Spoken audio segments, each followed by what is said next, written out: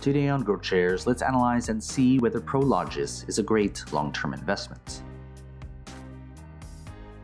This analysis is divided into three broad factors the business, the investment, and the valuation.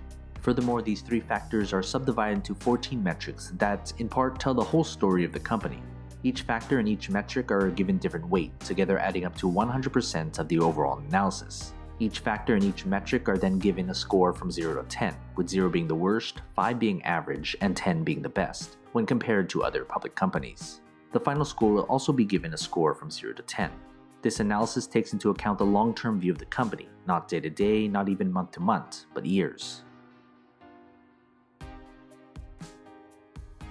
Let's first look at the company as a business. Taken exclusively, we analyze the company as a business, how the company makes money, is it making its money efficiently, and is it growing its business? All those things are what we look for to determine whether the company is actually a good business to own. It doesn't matter if you're looking to buy one share or the whole company.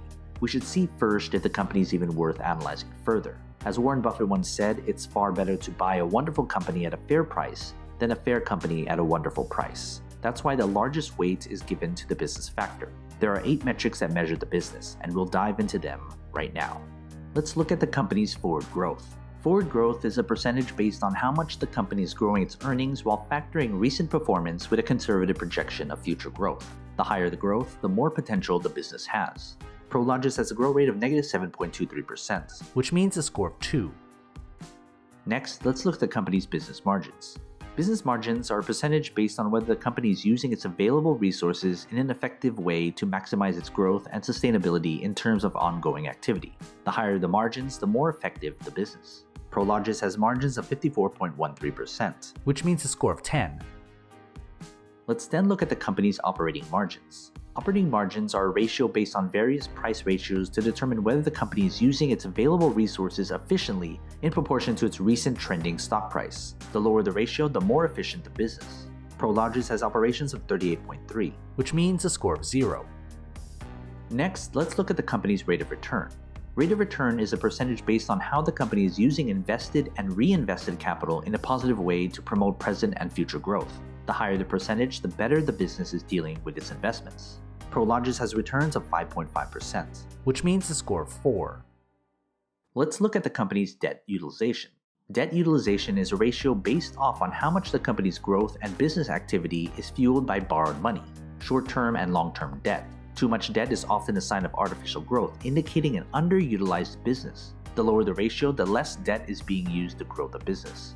Prologis has utilization of 0.9, which means a score of 4. Next, let's look at the company's dividend.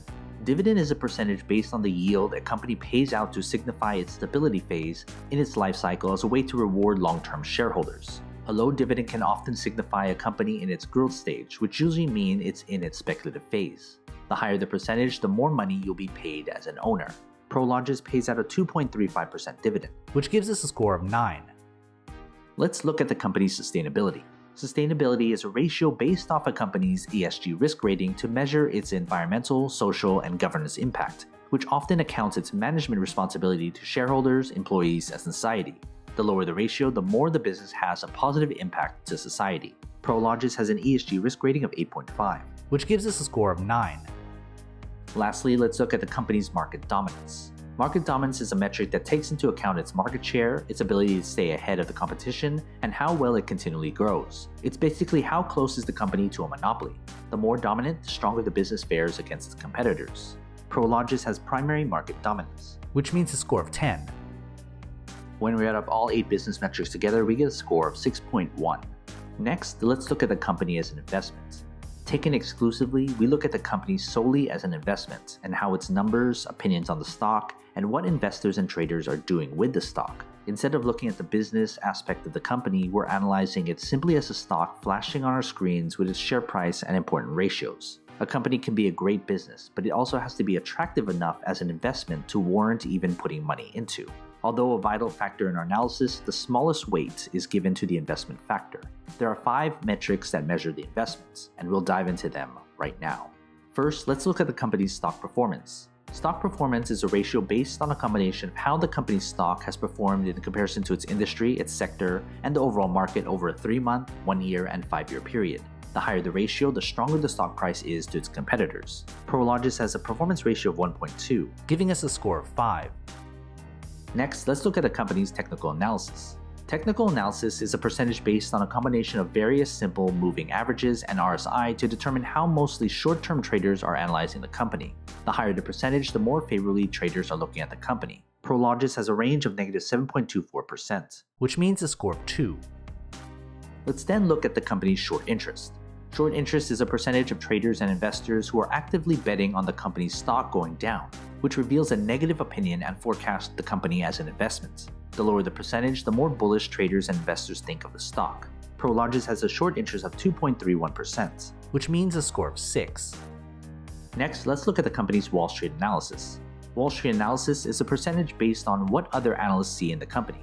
Other opinions are important because they sway investor sentiment, where a consensus either way can determine a stock's short term and long term performance. The higher the percentage, the more favorably analysts see the company as an investment. Prologis has a consensus of 75%, giving us a score of 7. Lastly, let's look at the company's institutional ownership.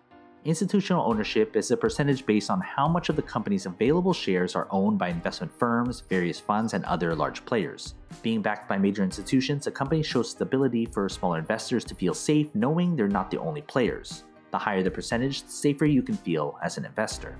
Prologis has an ownership of 97.1%, which means a score of 10. When we add up all five investment metrics together, we get a score of 6.09. Finally, let's look at the company's valuation. Valuation is what most investors look at when deciding whether to invest in a company or not. It's putting everything together to figure out the price at which we would be willing to buy the company's stock. A company can be a great business and also an attractive investment, but the stock needs to be fairly valued or better to even make it a worthwhile addition to your portfolio. A large share, 33% of the analysis, depends on the company's valuation. There is only one metric that measures the company's valuation, and we'll dive into that right now. Let's look at the company's fair value price. Fair value price is the most you should pay for the company's stock based on a conservative projection of future cash flow put into a discounted cash flow model, which is handicapped to give a conservative number as a way to increase its margin of safety. Prologis has a fair value price of $105.81 per share, which I consider to be expensive, giving us a score of 1. As a recap, here are the scores for all 14 metrics.